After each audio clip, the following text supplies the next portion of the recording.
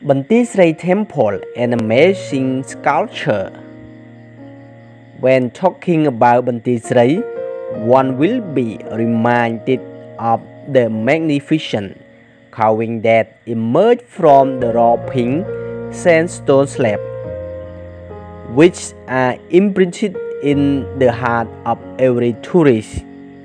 Although it is about 30 kilometers away from the provincial town, it is true that tourists who visit Siem Reap rarely visit the Banteay Srei temple.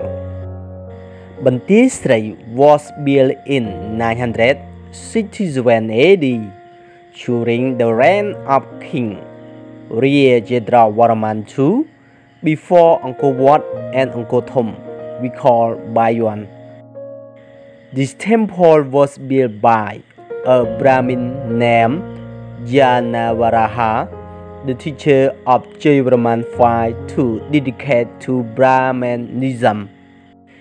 The original name of this temple was Isobore, which means the palace of Iso, later called Banteay Srei.